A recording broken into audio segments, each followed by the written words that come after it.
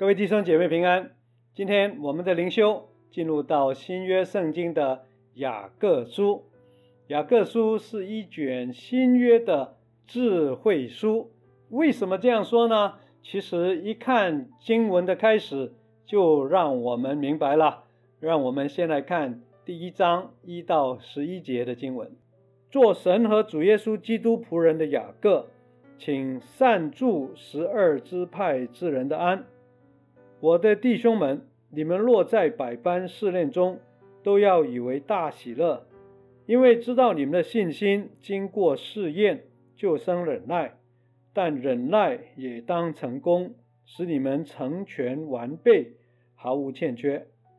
你们中间若有缺少智慧的，应当求那后赐予众人，也不斥责人的神，主就必赐给他。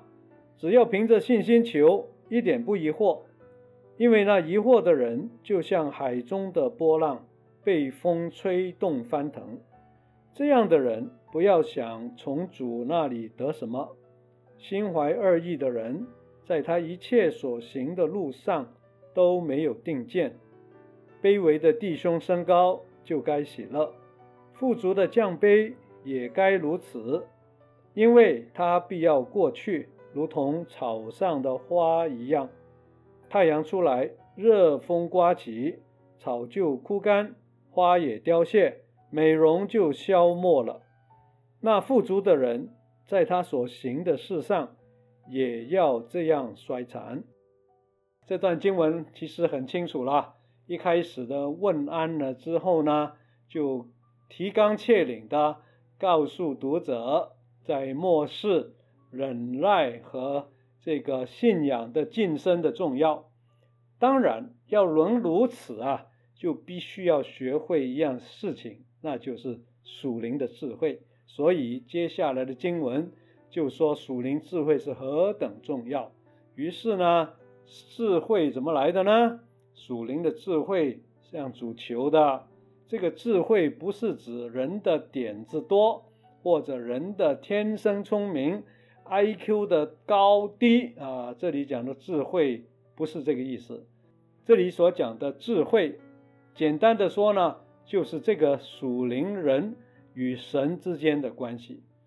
当人与神的关系越亲密、越深入，当然就有很多属灵的看见、属灵的学习，这是属灵的智慧。那么人没有怎么办呢？那只有向神求了，而且要艰辛的、坚定的来求。这里说三心两意的人是没办法求到了，我们要坚定的、继续的来到主面前去问他。然后下面的经文就举出一个例子，其实这个例子就是非常好的个案，作为我们体认。什么叫做属灵的智慧？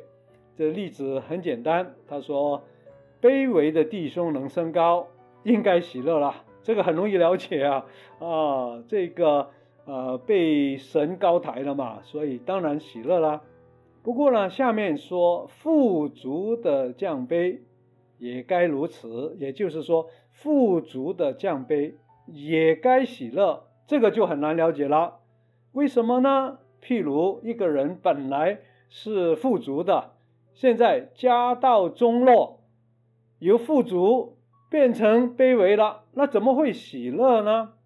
到底为了什么而喜乐呢？好，那么下面几句话就讲清楚了。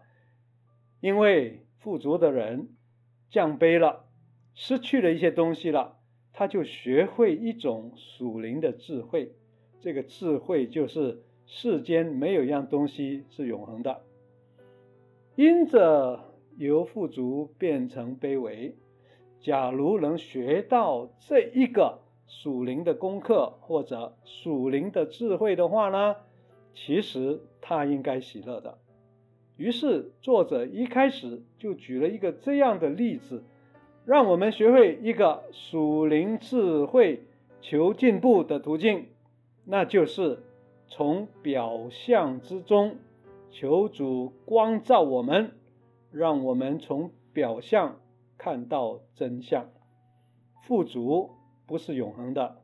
不过，非永恒的富足成为卑微，却能够学会一个永恒的真理，当然应该喜乐了。而这个过程，就是让我们得到属灵的智慧。假如我们明白作者这个思路是这样想的话，那我们可以预期着雅各书里面一定有很多从表象进入真相的种种教导。我们用期待的心继续来从这卷书灵修，并且从中得着属灵的智慧。愿神祝福你平安。